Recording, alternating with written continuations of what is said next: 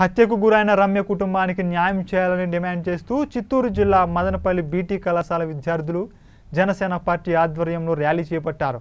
BTech విద్యార్థి రమ్య హత్య చేసిన శశికృష్ణకు ఉరిశిక్ష విధించాలని Janasena party Rayalaseema convener Gangadharapu Ramadas Chowdary demand చేశారు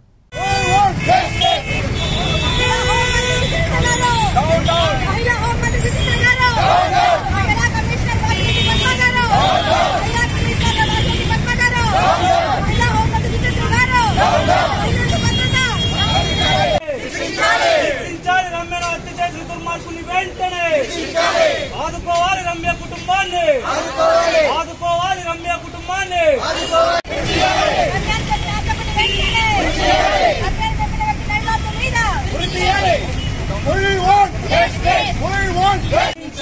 రమ్యను చంపిన ప్రేమోత్పాదిని వెంటనే.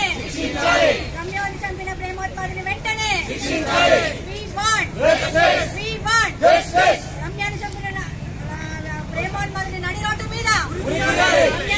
జగన్మోహన్ రెడ్డి గారి ప్రభుత్వంలో ఎక్కడ చూసినా మహిళల పట్ల ముఖ్యంగా ఎస్సీ ఎస్టీ బీసీ మైనార్టీ మహిళల పట్ల చాలా అమానుషాలు జరుగుతూ ఉన్నాయి. అంటూ ఆపు లేకుండా చేస్తున్నారు మరి మన జిల్లాకే చెందిన మన రోజక్క ఓ మాట అన్నారు. ఈ రాష్ట్రంలో ఆడవారికి ఏదన్నా అన్యాయం జరిగితే గన్ను కన్నా ముందు జగన్ వస్తాడు అని చెప్పని. కరెక్టే. జగన్ వస్తానాడు కానీ జగన్ గన్నుల్లో బుల్లెట్లు లేవు. పుతుతి పుతుతి గన్ను వస్తా ఉంది. కాబట్టి ఇకనైనా చిత్తశుద్ధితో దిశా చట్టం పెట్టారు. ఒట్టి పేపర్కే పరిమితమైంది కానీ పబ్లిసిటీకే పరిమితమైంది కానీ దిశా చట్టం కింద దోషులను శిక్ష పట్టుకొని నెల రోజుల లోపల శిక్షించే విధంగా చట్టాన్ని రూపొందించారు కానీ ఎక్కడ ఒక చట్టం ఒక కేసులో కూడా దాన్ని అమలుపరిచిన దాఖలాలు పోలేదు. కాబట్టి జనసేన పార్టీ తరఫున మేము ఆ తల్లి రమ్య కుటుంబ సభ్యులకు మా ప్రగాఢ సానుభూతిని తెలియజేస్తూ తెలియజేసుకుంటూ దోషులను కఠినంగా శిక్షించేంత వరకు మహిళా లోకానికి ఈ బాధితులందరికీ కూడా జనసేన పార్టీ అండగా ఉందని చెప్పి తెలియజేసుకుంటున్నాం. ఇక మీదట రాబోయే కాలంలో ఏదైనా కానీ రాష్ట్రంలో ఏ మూలైనా సరే ఆడబిడ్డలకు అన్యాయం జరిగితే జనసేన పార్టీ తరఫున మేము ముందుండి పోరాడతామని చెప్పనేసి తెలియజేసుకుంటాను.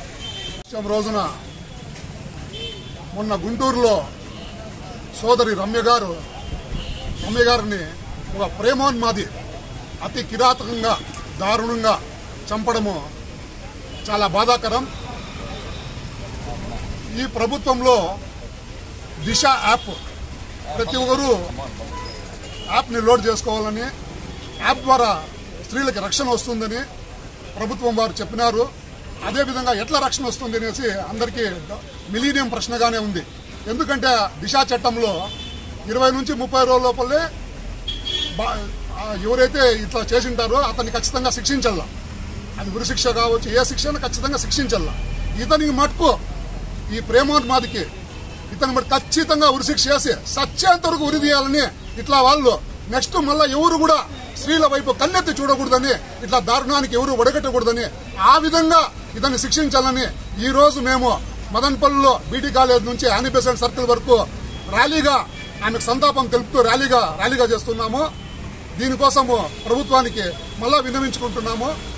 పోలీసు వారికి మాత్రం ధన్యవాదాలు తెలపాలా? ఎందుకంటే ఈ జరిగిన వెంటనే పట్టుకున్నారు నిందితుని పట్టుకున్నారు.